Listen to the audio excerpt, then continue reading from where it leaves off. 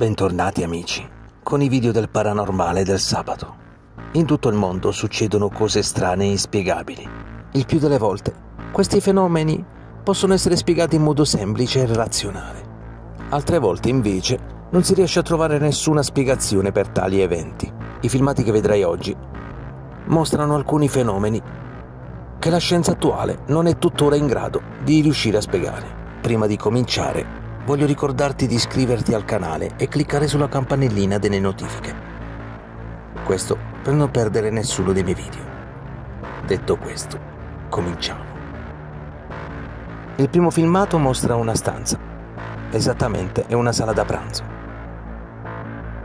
dove c'è un televisore e un piccolo caminetto vicino al muro sulla destra. Il proprietario di questo appartamento non è in casa. Dopo qualche ora che l'uomo è andato via, succede davvero di tutto. Alcuni oggetti incominciano a cadere senza che nessuno li abbia toccati. Altri invece vengono spostati da una forza invisibile.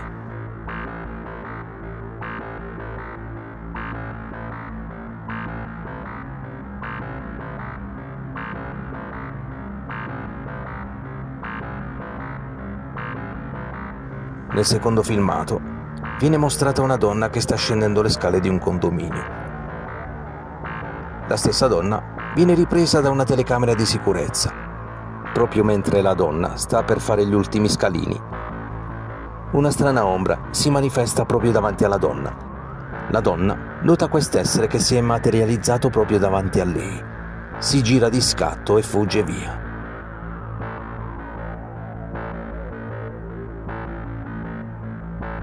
Nel terzo filmato viene mostrato l'ingresso di un hotel. Alcune persone stanno attraversando la porta in vetro girevole. Sembrerebbe tutto normale, se non fosse per ciò che succede dopo. Un vetro della porta va in mille pezzi. Se notiamo bene dall'immagine il rallentatore,